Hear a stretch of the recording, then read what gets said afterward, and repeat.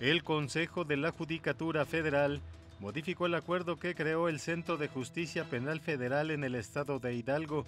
Precisa que para sustituir al Tribunal de Alzada se habilita a los tribunales unitarios del vigésimo noveno circuito con residencia en la ciudad de Pachuca, instancias que se encargarán de atender los asuntos correspondientes hasta que se cree el Tribunal de Alzada.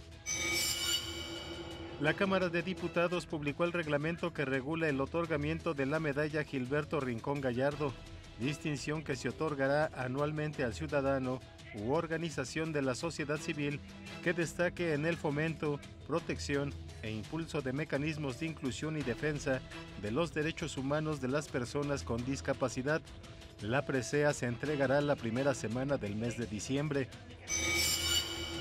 se dieron a conocer las reformas al reglamento interior de la Administración Pública de la capital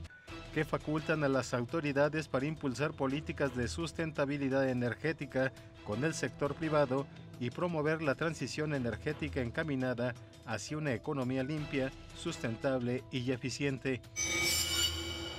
En el Estado de México se modificó el artículo 23 de la ley para prevenir, combatir y eliminar actos de discriminación en dicha entidad